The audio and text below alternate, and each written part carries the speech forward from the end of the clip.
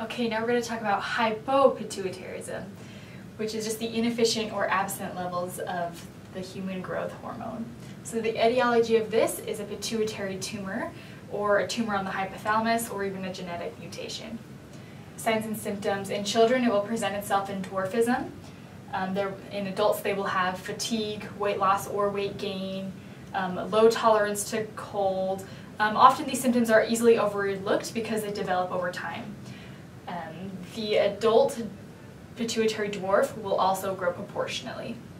The diagnostic procedure is a CT scan or an MRI.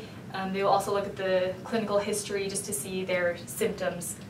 Um, the treatment will be hormone replacement therapy.